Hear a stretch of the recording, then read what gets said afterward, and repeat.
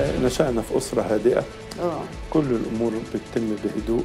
الهدوء الرزين؟ أيوه ما هو الهدوء لو زاد بيوصل درجة البرود. أيوه لا الهدوء العاقل كده. ومواجهة الأمور بحكمة. ودايما عامل الوقت مهم في كل حاجة. مم. ال time factor ده في مم. غاية الأهمية.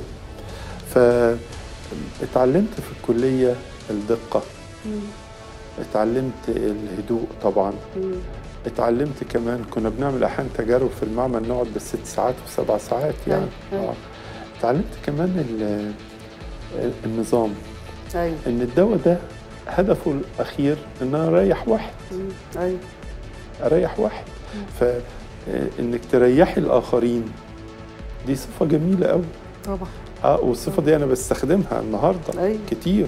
يعني أنا أحب إن أي حد يجي لي في مكتبي حتى لو كان في مشكلة حتى لو كنتش أقدر مم. أعمل حاجة فيها لكن على الأقل يخرج مرتاح